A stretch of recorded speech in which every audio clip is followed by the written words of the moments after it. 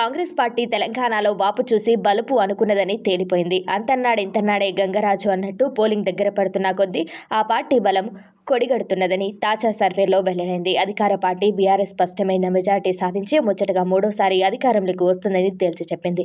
Telangana assembly ఎన్నికలపై ABP voter survey మరోసారి నిర్వహించిన సర్వే ఫలితాలను శనివారం ప్రకటించింది. ఈ సర్వేలో బీఆర్ఎస్ నలభై తొమ్మిది నుంచి అరవై ఒక సీట్ల వరకు గెలుచుకుంటుందని తెలిపింది.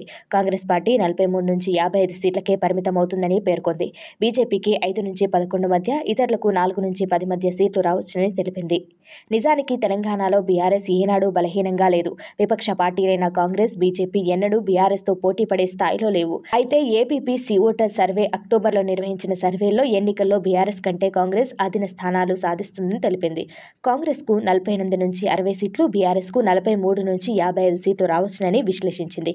నెల తర్వాత మళ్ళీ సర్వే నిర్వహించింది. ఈ సర్వే సమయానికి కాంగ్రెస్ పార్టీ దాదాపు పది సీట్ల వరకు బలం కోల్పోయిందని వెల్లడించింది. ఎన్నికల కోసం అభ్యర్థుల ప్రకటన మొదలైన తర్వాత కాంగ్రెస్లో అసలు డొల్లాతనం బయటపడింది. టికెట్లు ఆశించి భంగపడ్డ నేతలు పార్టీ కార్యాలయంపైనే దారులకు తెగబట్టం టికెట్లు వచ్చిన వారికి రెబల్స్ బెడత తీవ్రం కావడంతో ఆ పార్టీ మెజార్టీ సీట్లు సాధించే అవకాశమే లేదని సర్వే తెలిపింది.